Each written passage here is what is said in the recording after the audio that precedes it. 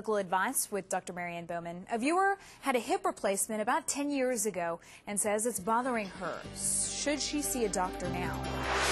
Hip replacements can last for a long period of time, and depending on the activities you've done, that will make a difference in how long they last. If you're just having a little bit of aching pain and you are able to tolerate things like ibuprofen or Aleve, I'd try that first. Just see if that will help. Maybe you just have some inflamed muscles in that area. If you have any instability where you feel like it's going to fall, if it feels like it's out of place, if you're having severe pain, or if you can't take medications such as ibuprofen or Aleve, definitely see your doctor. Your doctor will want to evaluate you, uh, probably do an x-ray, see if things are in alignment. You may need physical therapy, may need medications. That'll be up to your doctor. But if you are having having any kinds of significant pain, any kind of instability, definitely see your doctor right away.